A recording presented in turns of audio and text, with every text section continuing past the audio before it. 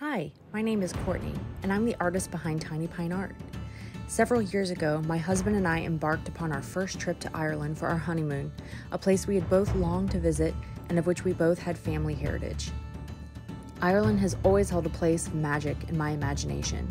I've been inspired by its history, geology, and folklore even before I learned of my family's ancestral ties to the country.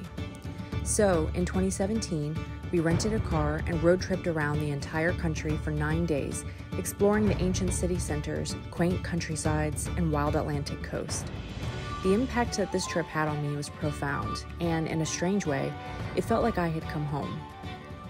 After taking thousands of photos, I knew that I needed to embark upon another journey, one where I attempted to recreate the experience to share with others so that they could feel the magic that I felt while there after years of letting the idea simmer in my mind, and then hundreds of hours in the studio working with oil paint, watercolors, and cut paper, I have finally completed the first installment of my art collection that I'm calling Discovering Ireland Layer by Layer. The first magical location we came to was the Wicklow Mountains. Deep in the heart of Wicklow County, these mountains are located just south of Dublin. The mists were clearing in the distance as the afternoon sun began to appear here at Lough Tay.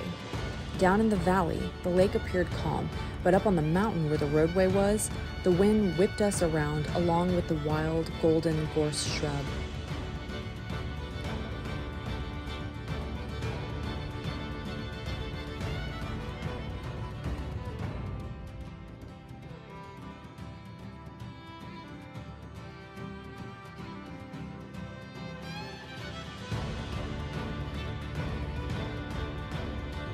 Deeper into the valley, we came across the incredible and ancient monastic community of Glendalough. Amongst the crumbling chapels, high Celtic crosses, and indecipherable gravestones stands the Round Tower. Sitting prominently in the landscape, it is thought that the round towers were erected as either bell towers to mark religious services or as refuge for the monks during Viking raids between the 9th and 12th centuries.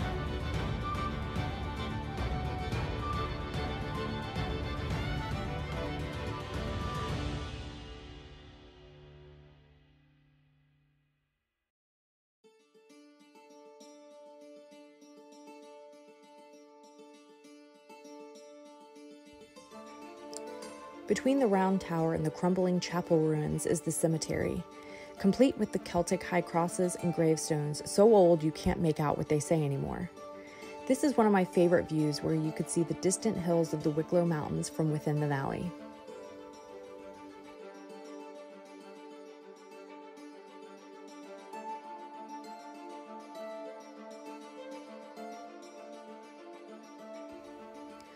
Once out of the mountains and further into the countryside, we came to the town of Cashel in County Tipperary. Through the arrow slits in the ancient walls surrounding the Rock of Cashel, Hoare Abbey and the Golden Vale can be seen. The Rock of Cashel was the seat of the ancient Celtic kings of Munster, and subsequently the church and the Golden Vale is a patchwork of yellow green farmlands that surround it. Spotting Hoare Abbey through the arrow slits is like peering into another realm and spotting something magical that you wouldn't have seen otherwise, almost like the wardrobe to Narnia. On we went southward to County Cork, eager to see the coastal villages. I was standing on the dock in the harbor of Cobh in County Cork, looking back towards the colorful waterfront shops and pubs, and was stunned to see St. Colman's magnificent cathedral rising up behind them. Everywhere around us was the sound of water lapping against the side of colorful fishing boats. Once in Kinsale, our food tour guide took us to this magical little spot for a picnic of local treats. There, above Sandy Cove Beach, we were able to look out towards the uninhabited island and the ocean passage, famous in times past for being a smuggler's route and in present times for wild swimming.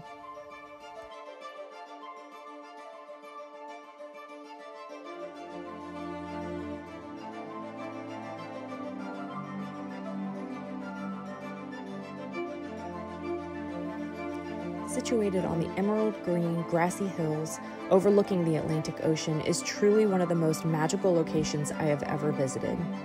Classiebawn Castle is perched atop the dramatic, rugged, and rocky coastline, creating completely unique and captivating scenery.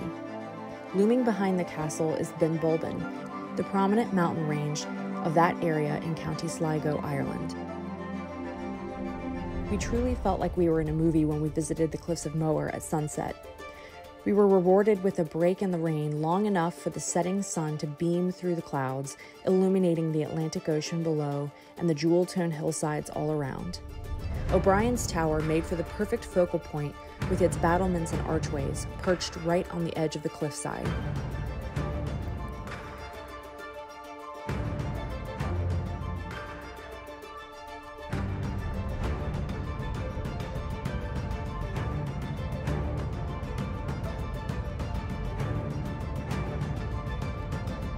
Continuing our adventure clockwise around the Irish coast on a long drive from County Sligo to County Antrim, we passed through parts of Donegal.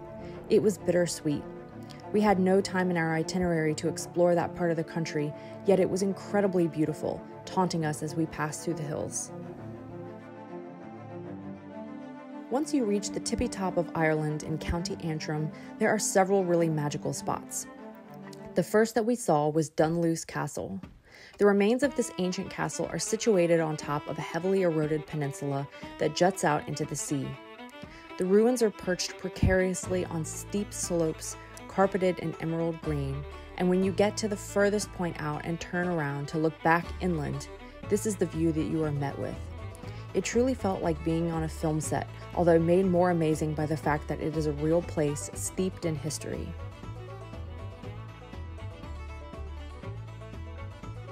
Exploring the remains of Dunluce Castle was an amazing experience. This ancient place is so old that it is marred by crumbling walls that are exposed to the elements and have given in to the harsh Atlantic winds. This is one such spot that looks like it could have started as a window. It now appears as a large, cracked opening in the stone, looking out towards the mystical landscape beyond.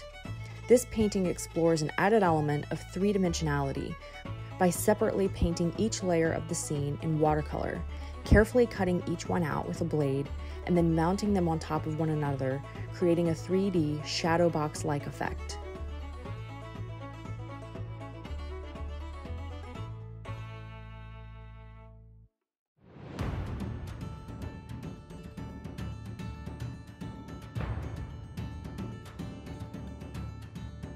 When hiking the path to the Giant's Causeway, we came to an overlook with a view north towards the Atlantic Ocean, where the hills around us created an emerald green cove and the wild grasses whipped in the cold, misty winds.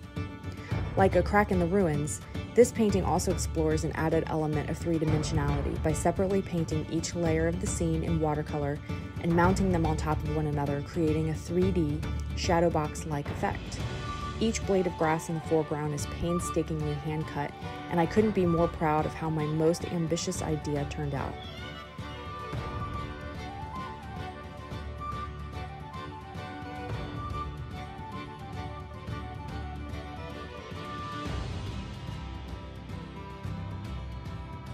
Click the link in the description below to take a closer look at the collection and see which originals are still available. Many of these paintings are available as limited edition archival giclée prints in various sizes too. I hope you enjoy exploring Ireland through my eyes.